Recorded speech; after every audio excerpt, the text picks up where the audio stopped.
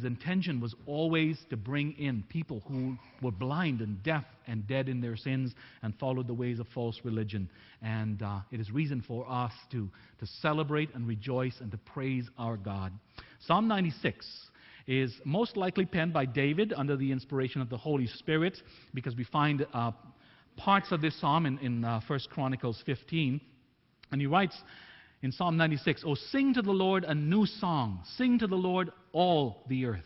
Sing to the Lord, bless his name, proclaim the good news of his salvation from day to day, declare his glory among the nations, his wonders among all peoples. For the Lord is great and greatly to be praised. He is to be feared above all gods. For all the gods of the peoples are idols, but the Lord made the heavens. Honor and majesty are before him Strength and beauty are in his sanctuary. Give to the Lord, O families of the peoples, give to the Lord glory and strength. Give to the Lord the glory due his name. Bring an offering and come into his courts, or worship the Lord in the beauty of holiness.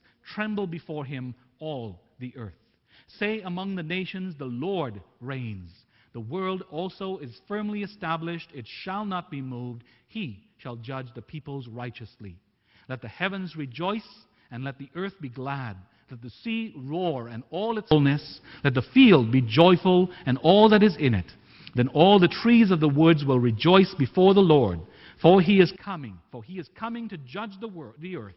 He shall judge the world with righteousness, and the peoples with his truth. Our song of preparation is number 187. Number 187, Sing to the Lord, Sing His Praise, All Ye Peoples. It's based, of course, on Psalm 96. And at this time, we will rise only to sing the first three stanzas of number 187.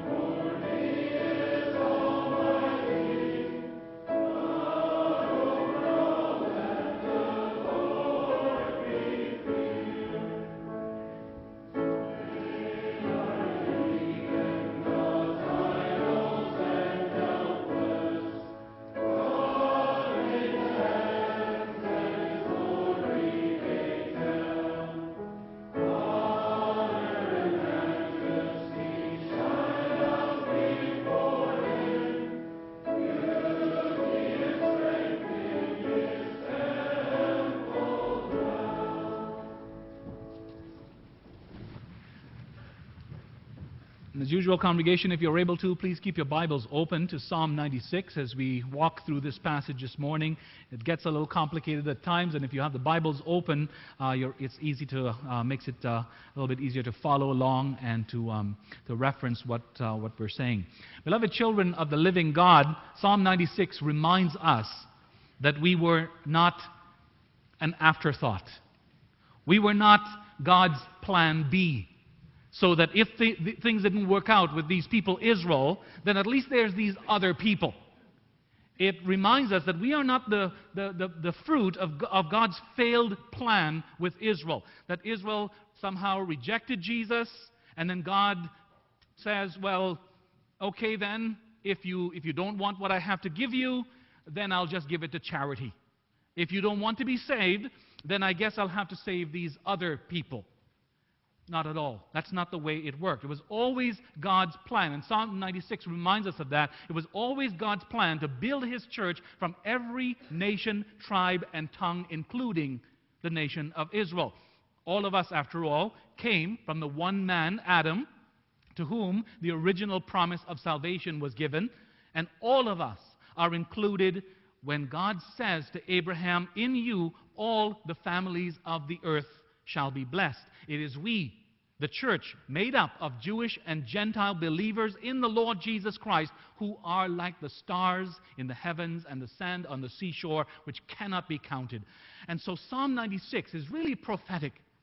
It's looking ahead to the time when the kingdom of God would be set in motion by the ministry of Jesus Christ, and the Lord God the Almighty God would begin to draw in the nations of the world. And so, our theme as we look at Psalm 96 this morning is this The true God calls the nations to acknowledge Him. The true God calls the nations to acknowledge Him. We'll see in the first place that we're called to acknowledge God with praise and adoration, and in the second place, with fear and awe.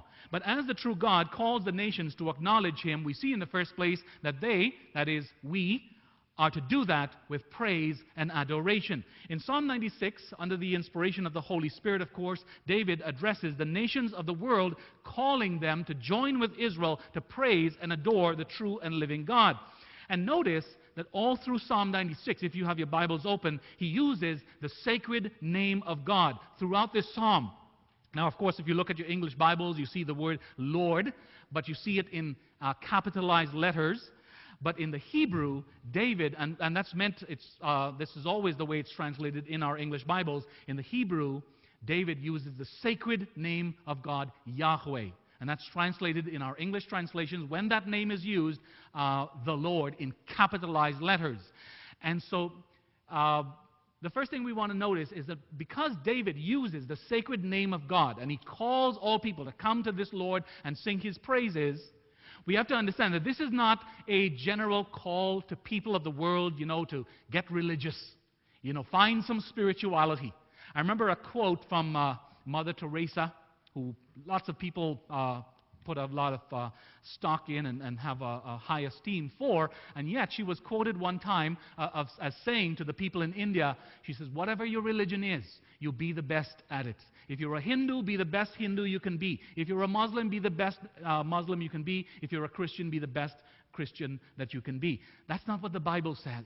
And that's not the call of David under the inspiration of the Holy Spirit here. It's not find some religion, it's come to know the true and living God, the only God. In uh, verses 1 to 3, David writes, Oh, sing to the Lord. Again, the sacred name of the Lord, a new song. Sing to the Lord, all the earth. Sing to the Lord, bless his name, proclaim the good news of his salvation from day to day, declare his glory among the nations, his wonders among all peoples. And notice as well, too, that David here addresses all the earth. Now, in the Bible, when the word uh, is used that's translated earth, uh, it can refer sometimes to the created world in which we live, the physical planet earth on which we live. But more often, when the Bible, especially the Old Testament, speaks of the earth, it refers to the peoples of the earth. And in the Old Testament, as we know, there was a very strong division among people, among humankind. There was Israel, and there were those who were outside of Israel, everybody else for that matter. There was the nation of Israel, and there were the nations of the world, the rest of the nations. Israel was holy, the rest of the nations of the earth were unholy. God was known, the true and living God was known in Israel. He was unknown to those who were outside of Israel. Uh, think of uh, uh, Ephesians 2, where Paul reminds the New Testament church that there was a time when we were categorized as uncircumcised. We were unclean, we were unpure. We were aliens from the commonwealth of Israel and strangers from the covenants of promise, having no hope and without God in this world. That's in Ephesians 2. But now Christ has come, he says, and he has broken down the middle wall of separation, and those who have been far off have been brought near. Christ has made the two one, he says. Through his death on the cross, he has reconciled both Jews and outsiders to God. Jew and Gentile believers all now have one common Father. And so it is only through the finished work of Jesus Christ that the call of Psalm 96 may be answered. All the earth, that is, all believers from every part of the earth, may sing to the Lord a new song. Now, Why is there this call to sing a new song? Indeed, if we back up a bit, we can ask, why, why call anyone to sing? Why does the Bible call people to sing all the time to the Lord? Well, singing, we have to understand, is a gift that God has given to us by which we may express our emotions. We can sing when we're happy, we can sing when we're sad, sometimes we sing when we're scared. From earliest times, man has sung what was in his heart. Songs have been written. And all through the Bible, we hear of God's people singing songs of praise to Him, or we, we hear them singing songs in which they bewail their situation. They do it in song. Uh, we read the Song of Solomon, which celebrates love and passion. We read of the women singing of David's victory when he returned from slaying Goliath. Um, uh, David has slain, or, or Saul has slain his thousands, and David his tens of thousands. And they sang this much to the chagrin of Saul. In the Bible, we find funeral songs, songs of ascents that people would sing as they made their way up to the temple in Jerusalem. We find wedding songs. David even speaks of himself at one point, and this is in Psalm 69, verse 12. David speaks of himself as having become the song of drunkards. And so they made up these funny songs about David, mocking him. And when they had had enough of their drink, they would start singing these songs mocking David. The point is, singing is part of the human experience. We express what is in our hearts quite often through singing. That's why we sing in worship. We confess our love for God. We confess our faith in God. We confess that He is our God. The psalms and hymns we sing are not, let's be reminded, first and foremost, for our enjoyment. God is the audience. God, when we come together for corporate worship, God is always the audience. And that's not to say we can't sing songs during the week. Yes, there are nice hymns that we like, and we can sing them around our tables or, or uh, when we uh, are doing our work, whatever it may be. But when we come together for corporate worship, we are the choir, and God is the audience. We sing to Him, we sing for Him, we sing about Him. And that's why, by the way, it's more important that we not merely sing, not merely mouth the words, but that we sing purposefully. We are to sing psalms, hymns, and spiritual songs, as Paul says in Colossians 3:16, with gratitude in our hearts to God. That's how we are to sing. That's the attitude of our hearts, um, an attitude of gratitude to God. Worthy of note as well is that David calls us in Psalm 96 to sing a new song. And we actually hear that expression, new song, many times in the Old Testament and then in the New Testament in the book of Revelation. And the sense of new song, and this sounds kind of obvious, but the sense of new song is to make a distinction from old songs. In the case of Israel, an old song might be what we find in Exodus 15. We're familiar with that. Um, when uh, Moses and the Israelites sing of God's deliverance of Israel from Pharaoh and the Egyptians, and they sing of him throwing the horse and rider into the sea, referring to the drowning of the Egyptians in the Red Sea. We might also think of the Song of Moses in Deuteronomy 32 which was very condemning of Israel, calling attention to their ingratitude to God, even though He had been so good to them, warning them of great destruction that would come upon them if they were ever unfaithful to God. And so, a new song for Israel would be a contrast to the old songs of condemnation. It would speak of God's grace and forgiveness, His power and His unfailing love. But here, the nations, that's us, are called to sing a new song, and what does that mean for us then? Well, it calls the nations, it calls those outside of Israel, those outside, who are aliens and strangers to the covenant of grace, to leave behind whatever consoled us in the past, and it calls us to look with joy and confidence to the true and living God. A new song for us would be an expression of our changed or transformed life. Those who had not known God now come to know God. And we, so we may sing a new song. We're called to sing a new song that expresses the safety that we now find under the shelter of the Almighty God, in contrast to times before when there was unsurety of who we belong to, what we belong to, if we had any hope in these, uh, in these false gods and these false religions. We're singing a renewed song by which we are abandoning the old superstitions and idolatries of our former lives while we were unconverted. No longer do we sing useless, ignorant songs, but songs that express our new status. And what is our new status? Let's remember from 1 Peter chapter 2, we are a chosen generation, a royal priesthood, a holy nation, God's own special people. We who were once not a people are now the people of God. We who had not obtained mercy have now obtained mercy. And so we are called to sing a new song. Because we who were formerly spiritually foolish and blind may now bless the Lord. We may sing praises to his name in contrast to the blessing of the name of other gods. Instead of putting our hope and trust in earthly things, we bless the name of the God who is to be praised.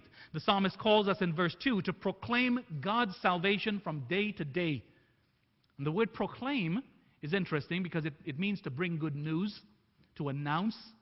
It can even be translated at times to preach. He calls us all to preach God's salvation from day to day. And so this psalm is calling every one of us, in light of God's deliverance, to be heralds, to be messengers, ambassadors, preachers, announcing that deliverance is found in none other than the God of the Bible and in his Son, Jesus Christ. We are to be, as Jesus said, the uh, salt of the earth and the light of the world. We are to let our light so shine before men that they may see our good deeds and glorify who? Our Father in heaven. We are to live and speak the good news of God's salvation in Christ to all men. With the outpouring of the Holy Spirit, we are uh, to declare God's glory among the nations, His wonders among the peoples, as we hear in verse 3.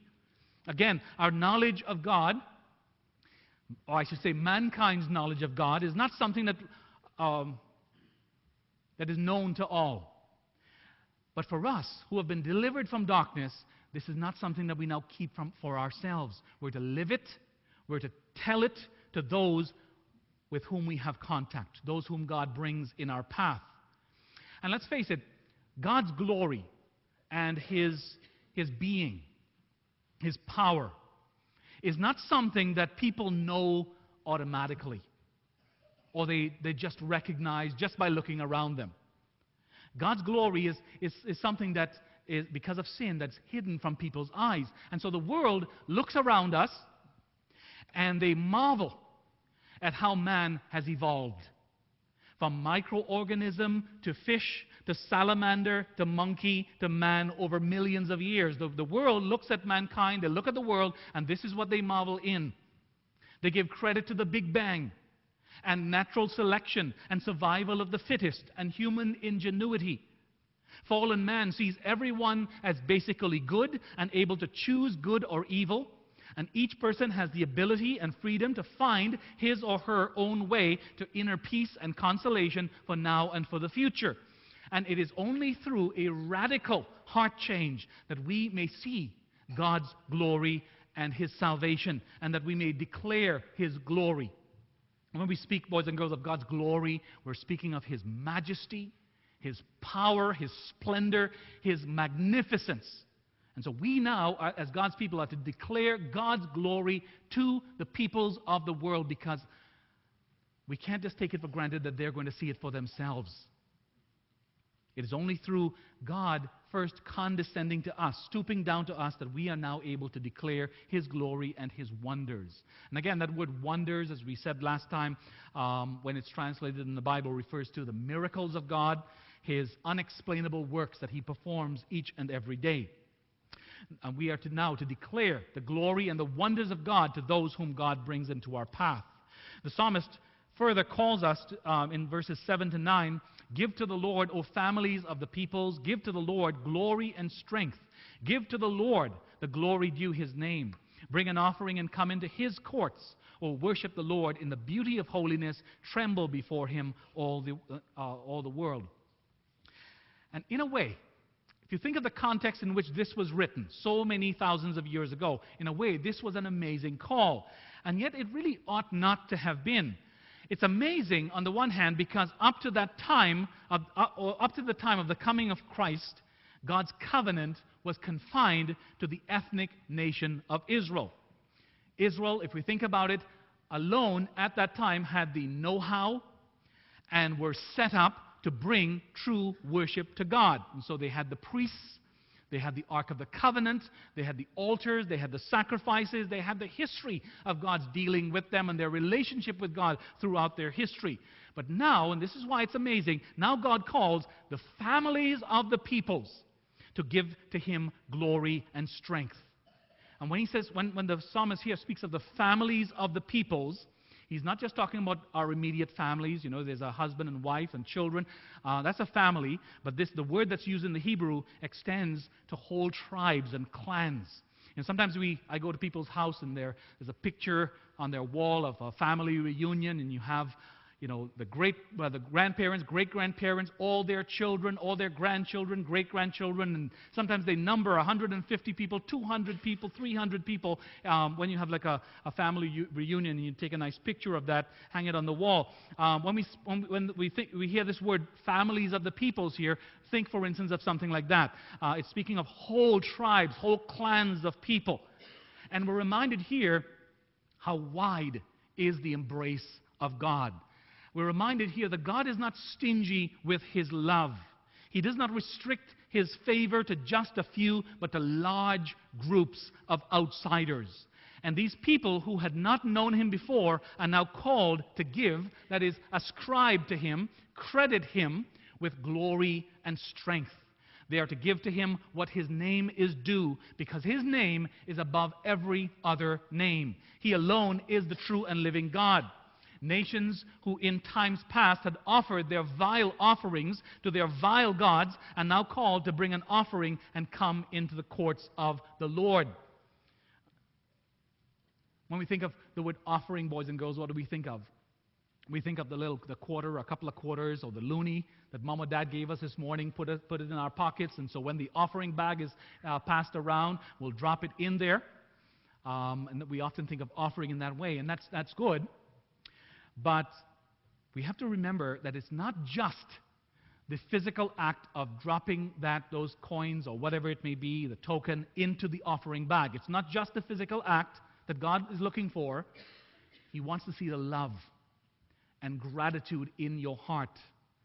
And he wants to see that you give this as because you recognize that this that, that uh, we are his children, that he has blessed us so richly, and so we're giving to him um, uh, an expression of our thankfulness and our recognition that, that uh, He is good and He is well provided for us. And, and we have to realize that we are very privileged to do that. We, who are outside of God's people, are now called to bring an offering and come into God's house. And we're uh, to bring that offering, as we said, with an attitude of love and thankfulness in our hearts. The psalmist calls us also to worship the Lord in the beauty of His holiness. And the word translated uh, beauty in the Hebrew has to do with clothing.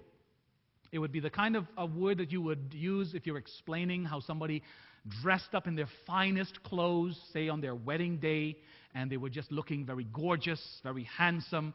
Uh, it's the kind of word you would use in a context like that, or if you think of the, uh, uh, a queen or a king dressed in their festal robes, uh, this kind of language you would use.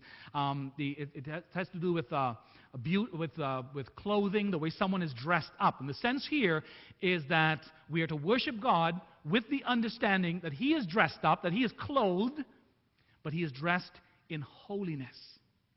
And so we are to come worshiping Him with this in mind. We are to worship the Lord in the splendor, in the beauty of His holiness. In congregation in Psalm 96, God was calling the nations to acknowledge Him with praise and adoration.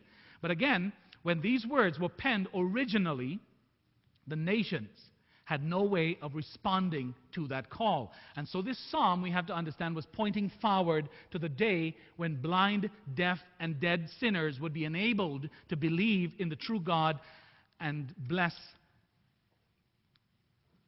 his name and give to him what was his right to receive. And Psalm 96 indicates that that day would come, and it has.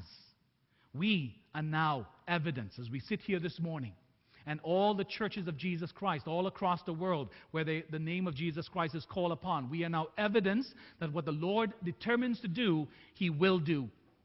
The nations are now turning to the true God. But as the true God calls the nations to acknowledge him, we see in the second place that they, that is, we, are to do so with fear and awe. In verses 4 to 6, we read, For the Lord is great and greatly to be praised. He is to be feared above all gods. For all the gods of the peoples are idols, but the Lord made the heavens. Honor and majesty are before him, strength and beauty are in his sanctuary. And again, please notice that the sacred name of Israel's God is used here, Yahweh in the Hebrew. And it's used to make a distinction, a differentiation. He is great and greatly to be praised. The word translated great has a sense of importance, power, influence. It speaks of his excellence and magnificence.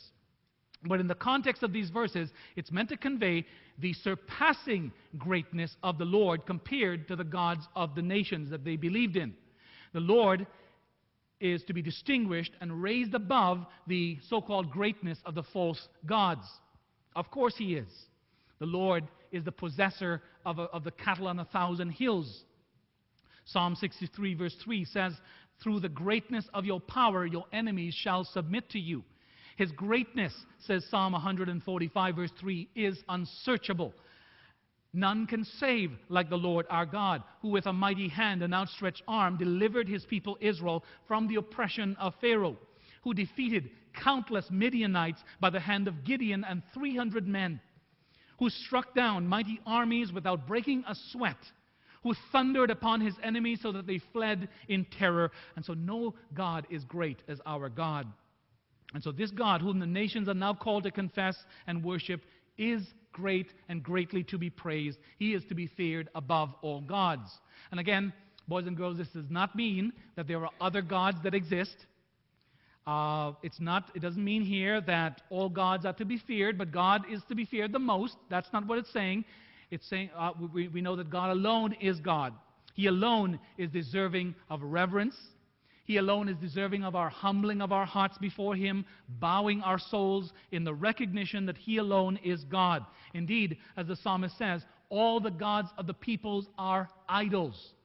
And the, the word in the Hebrew that's used, that's translated idols in our Bibles, is uh, kind of a mocking kind of a word, kind of a contemptuous word. The word uh, that's translated idols means it can be literally translated no thing. Idols can be literally, literally translated no thing. And so God is saying the, the gods of the, of the nations are no things. They're nothing. They're useless. They're no good.